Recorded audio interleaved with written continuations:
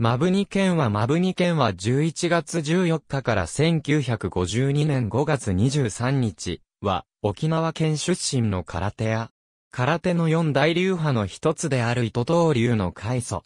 マブニ県はは1889年に現在の沖縄県那覇市に生まれる。マブニマギリの掃除島夏市マブニ家の直系、ビソは大城県有。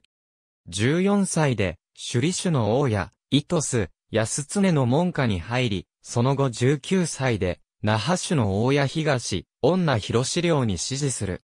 兵役終了後、警察官として採用される。1918年、自宅を介護所として、空手研究会を設立。1924年より、本土に渡る。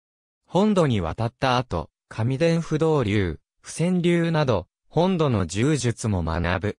1931年マブニ流と名乗る。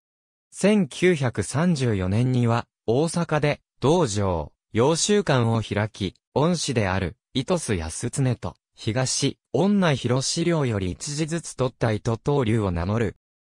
昭和9年3月5日発行の、工房自在語真術空主憲法と、昭和9年10月8日発行の、聖杯の研究後真術秘伝空手憲法を、昭和9年10月25日発行の工房自在空手憲法18の研究の著書の奥付けの広告では、肩書きは日本県航空手術教授号やわら流憲法師範とあり、道場2カ所のうちの一つは、小進館道場となっている。1939年、大日本武徳会より空手術練士号を授与される。1952年、大阪で没した。享年62。